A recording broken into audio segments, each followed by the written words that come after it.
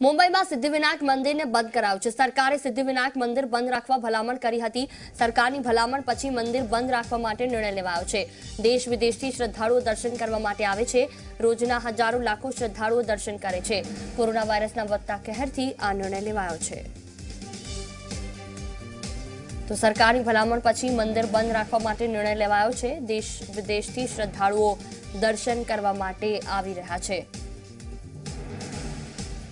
ત્યારે સરકારની ભલામણથી તેમાં પણ તમામ લોકોને ભીડભાડ ઓછી કરવા માટે કહેવામાં આવ્યું છે. મુંબઈમાં સિદ્ધિવિનાયક મંદિરને હાલ તો બંધ કરવામાં આવ્યું.